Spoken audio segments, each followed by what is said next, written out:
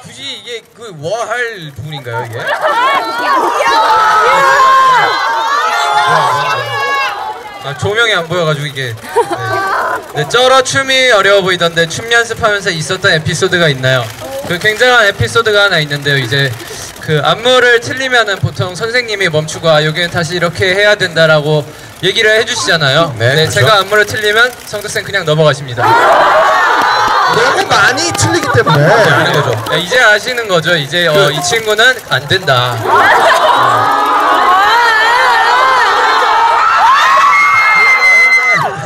네, 뭐 그렇다고 하네요. 네, 다음 질문. 네, 뭐냐? 네. 석진 오빠 밥 먹는 김석진을 찍는 기준은 뭔가요? 네. 어 뭐라고요? 앞으로 그러면 뭐 예를 들어 그럼 앞으로 다음은 뭐- 좀 힘들고 새벽쯤에 네, 새벽에 뭐. 실제 뭐 족발이라던가.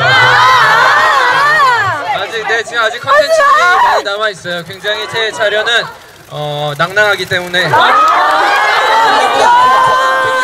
왜 왜 그렇게 그 먹는 걸 올린 겁니까? 아 제가 몸에 힘이 없어서 방탄방을 못 찍어요. 그래서 제 모습 아네 보지 마시고요.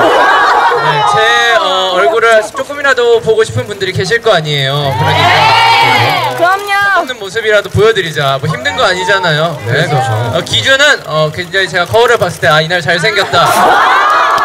찍습니다. 아, 매일 매일. 아, 그래서 자료가 많아요. 여러분은 그렇게! 모르겠는데 이거 찍을 때마다 저는 아 이 형이 정말 정말 힘들었구나 아. 정말 많이 힘들어서 많이 먹구나 안쓰럽게 보는 그냥 맛있는 거 먹었을 뿐인데 네 다음 슈가로 넘어가겠습니다